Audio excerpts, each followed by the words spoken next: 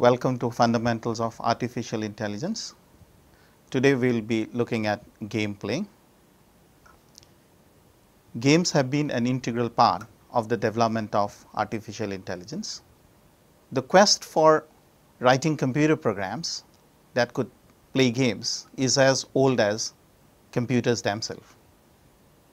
Starting with Samuel's checker AI, we have AI chess playing programs to more recently the AlphaGo. All of these have pushed the frontiers of AI. One important realization has been that game allows a very good platform for experimentation and that is why there is fascination for looking at games. Games provide a well defined environment in which states are intrinsically discrete. So, that allows one to focus entirely on the decision making strategy.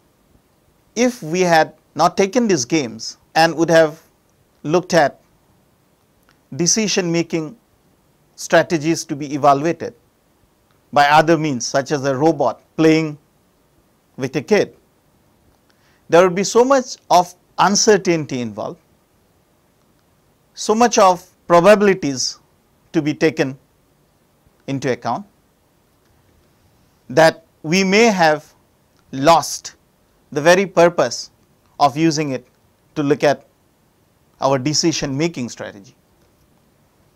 In games, rules are well defined and success and failure can be measured easily. That is why we look at games as a medium to evaluate the strategies of decision making Games allow us not only to reason about one algorithm or one process, games in a way allow multi-agent activity. We had only looked at one algorithm whose aim was to find an optimal path to the goal. Bringing in the idea of games, we could now involve more than one agent and the interaction between agents has mostly been studied by extracting them as games.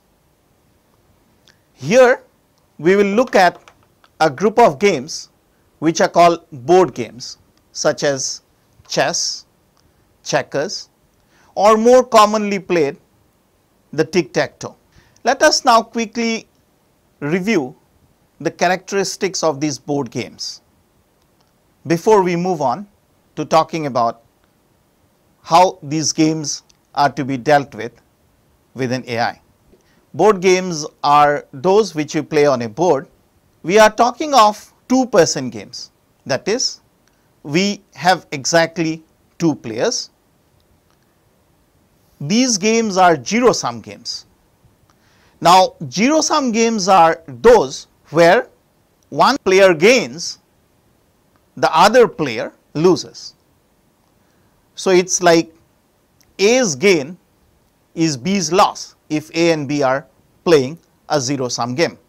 We are talking of here games which are complete information games. Complete information games are those in which both players have access to all the information. That is they can see the board, and does know the options that the other player has. The other important characteristic of board games that we will deal with is that we are talking of games which are alternate moves. That is, the two players that is involved in the game takes turn to make their moves. And finally, we are talking of deterministic games. Deterministic games are those which does not have any element of chance in the moves that one make. So, in this portion of our course, we will be looking at how one has a winning strategy for a board game, but then the board games that we will be talking of would be restricted to 2 person, 0 sum, complete information, alternate moves, deterministic games. Now, let us take a very simple game to illustrate what we mean by these characteristics of a game. This game is called the Grundy's game. Many of you must have played this while you were young. The game involves two players and we have a stack of pennies, a single pile of objects, either a stack of pennies or people will even put 7 stones one above the another to make one single pile. The idea of the game is to then divide the stack into two stacks that are unequal. So, you start with stacking 7 stones. If it is the opponent's turn, he will then break it up into 5 and 2. So, the first player divides the original stack and then each player alternately does the same to some single stack when it is his turn. The game proceeds until every stack has either just one penny or two, because at that point of time you cannot divide the stack into two stacks that are unequal and continuation at that point becomes impossible. The player who first cannot play is the loser in this game. So, let us look at Grundy's game. Here I have 7 pennies in one single stack and its means turn to play. Now, in such game we have a notion of two players, one is called the mean, the other is called the max. We will see why they are called mean and max in a moment, but now let us say the player mean starts to play the Grundy's game with 7 pennies in a single stack. Now, a little thought if you give you will realize that 7 can be broken up into two unequal stacks in three ways. I could have in one stack 6 pennies, in the other stack a single one or I could have 5 and 2 or I could have 4 and 3. This is what has been shown as the next level of the game. So, mean starts playing here and then breaks it into a stack of 6 1, 5 2 and 4 3. It is now Max's turns to play and he can have the following options.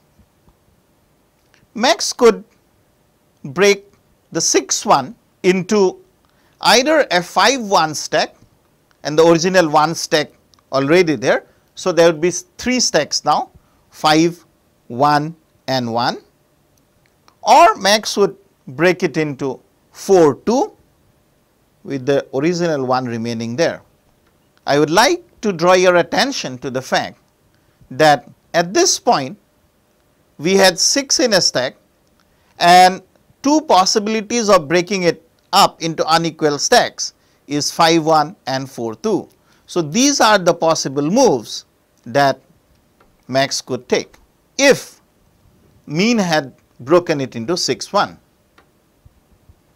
On the other hand, if mean had actually divided the original stack into 5 2, I could have the possibility of generating 4 2 1 because 5 could be broken up into 4 and 1 and I would carry forward the 2 from here.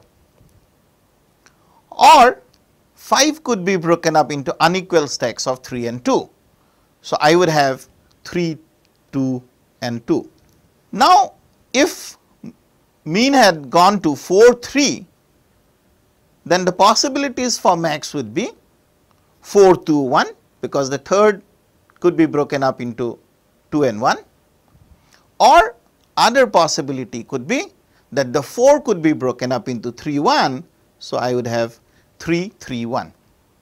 Next it is Mean's turn to play and from the given possible alternate positions Mean could explore the next level of the game. That is 5 could be broken up into 4 1 1 unequal stack or 3 2. The 4 2 1 could be broken up into 3 1 leading to 3 2 1 1 and the 3 could be broken up into 2 1 leaving me with 3 2 1 1 stack. The 3 2 2 stack if I start breaking this I will only create equal number. So, all I can do is break up the 3 stack into uneven stack of 2 and 1. Proceeding further, Max would then be able to break this node into 3 1. The second one would be possible to be broken up into 2 2 1 and the only possibility now left with mean is that he can work on this node. Here it is not possible for mean to break it up into unequal stack because I have 2 2 even if I think of breaking this stack all I will have is 1 1 penny in each stack. So, it will not be a legal move according to the rules of Grundy's game. At this point mean can play and break it up into 2, 1, 1, 1 at which point Max will not have a possibility of moving any further. So, this is the total tree of the possibilities of Grundy's game with 7 pennies in the initial stack. Now, if you look at the winning strategy for Max, what should Max do to ensure that he will win this game, we can note that no matter what Win does in this game, that means no matter what Mean tries to follow, Max can always win this game. This is precisely because at the first instance here at the top, Mean can follow three paths which is either to 6 1 or to 5 2 and to 4 3. Once he follows these three, one of the three, Max can ensure and come to 4 2 1 or to 3 3 1. Once Max ensures that he has come to either 4 2 1 or 3 3 1, mean is forced to play and divide the stack either this 3 into 2 and 1 or this 4 into the 3 and 1. That is at that stage of the game mean will have to come to this node. Once mean comes to this node max ensures that he breaks the 3 stack into 2 1 and at that point mean does not have a legal move and max can win. So, as we can see no matter what mean does in this game max can always ensure that he wins this game. Now, let us take a moment and see if this winning strategy for max has a similarity to the AND/OR graph that we have discussed previously. The AND/OR graph is about having AND nodes and OR nodes at alternate levels. So, if you look at the winning strategy of max at one point you would see that there is a similarity in the winning strategy for max and a solution graph for an AND OR. Because if you look at means next move at any point, then the means next move have successors that are like AND nodes. From max perspective, solution must be obtainable from all of these nodes. Whereas, if you look at max's next move, you will see that max's next move is something like the OR node because all max needs to win this game is to follow at least one of them. So, this winning strategy of max is very similar to the AND OR graph that we have discussed previously. So, question is can we use the search algorithm for AND OR graph that is the AO star for searching such game trees. Many simple games actually can be handled by such search techniques that are analogous to those used for finding AND OR solution graphs. For more complex games such as chess or checkers, the AND OR search to termination is out of question. It is not possible to generate the whole game tree. Complete game tree for chess has approximately 10 to the power 40 nodes and you can see from the volume that it is not feasible to have the complete tree generated. It would take some 10 to the power 22 centuries to generate the complete checker tree if a successor could be generated every one third of a nanosecond. So, what do we do when we have to search for solutions in such complex games? For complex games, search to termination is impossible. So, our goal in searching such a game might be just to find a good first move rather than the best move possible that will take me to a win. So, we could make the move the best possible right now and wait the opponent's reply and then we could search again to find a good first move from this new position. So, extract from the search graph best first move that is what we want to do. This estimation we can make by applying some evaluation function to the leaf nodes of the search graph.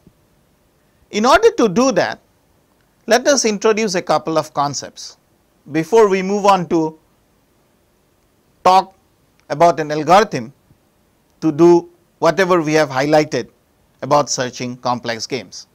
We introduce the concept of a game tree. A game is represented by a game tree. A game tree is actually a layered tree that is at each alternate layers we have the two players playing. So, at this layer max would be playing. The next layer it is mean playing thereafter it is max again. So, a game tree is a layered tree in which at alternate level one or the other player makes the choice and we have what are called the max layer and the mean layer. Now, a game starts at the root here with the max player starting the game and ends somewhere at the leaf nodes. The leaves of a game tree are labeled with outcomes of the game and the game ends there. Let us look at the game tree more closely. So, here is a game tree with the first being the max level, then the mean level, here it is max, then mean, max again, mean and max again. Recall that we are talking of board games which are two players games. So, two players are involved and the game is alternate moves.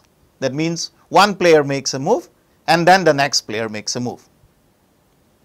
So, in this game tree, the leaf nodes actually shows the possibility of win, loss or draw for max. So, now you should recall that we are talking of a zero sum game that is a game where one can win then the other must lose or it could be a draw. So, here L refers to the loss for max D refers to the draw and W refers to a win for max. So, each of the leaf nodes could be given values either one of the three either W, D or L and they will tell whether following that route max wins, loses or there is a draw. Now, let us also introduce a very important concept called the minimax value before we proceed further. So, the minimax value of a game is the backup value of the root from all the leaves and represent the outcome when both the players play perfectly. That is, let us say we have a game tree and Max moves. He will try to choose the best possible value for himself. So, Max chooses a move that yields the value of 1 if available, else 0 if available and we will choose a minus 1 only if all the children's are labeled minus 1. Now, it is important for us to recall that such zero sum games either we mark the leaves as W for win, D for draw and 1 for loss equivalent to that we can either mark them as 1 for win, 0 for a draw and minus 1 for a loss. Now, when Max wants to make a move, every time his idea would be to choose 1, to choose the maximum of the next available successes to him. So, he would try to get 1 if available, else 0 if available and Max will choose a minus 1 only if all the children's are labeled minus 1. So, backup rule for mean is exactly the opposite of this and the minimax value of the game is the backup value of the root from all the leaves.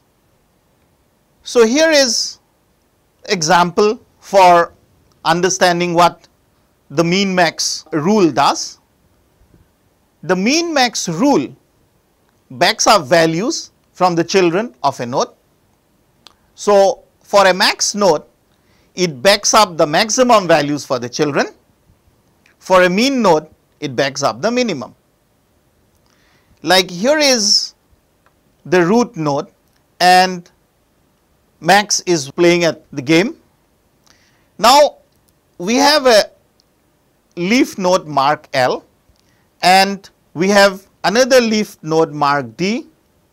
There are leaf nodes mark DLN respectively here. Now, remember that this label it is mean who is playing. At this level it is at this level it is max who is playing the game.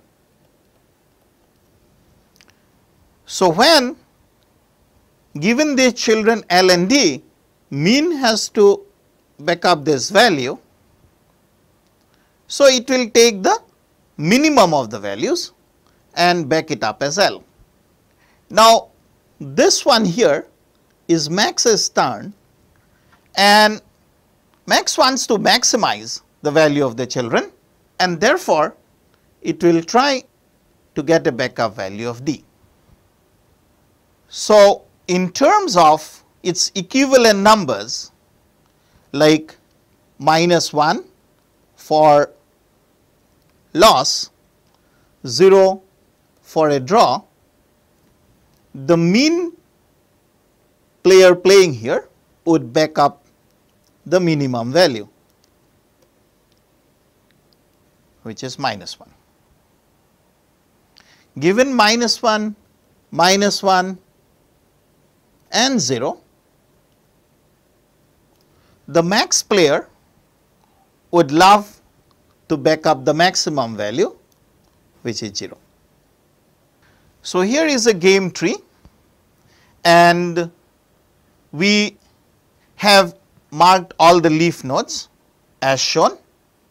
Now, we would love to back up the values that is identify the best move for each player. Given L and D here, the backup value at this point will be an L. So, the backup value at this point is an L again. The backup value here is an L because this is the means level. Now, at this point it is Max's play. So, the backup value would be D. Here the backup value would be W and at this point the backup value is D again.